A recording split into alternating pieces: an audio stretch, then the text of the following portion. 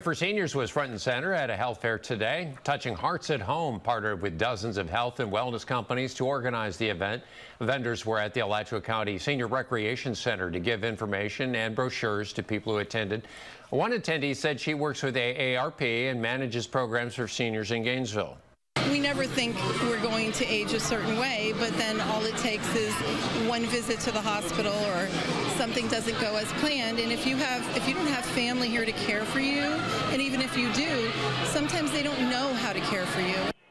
OneBlood was also on hand with a bus so that seniors could donate blood. Various entities affiliated with UF participated in the event, as did HCA North Florida Hospital and the Alzheimer's Association.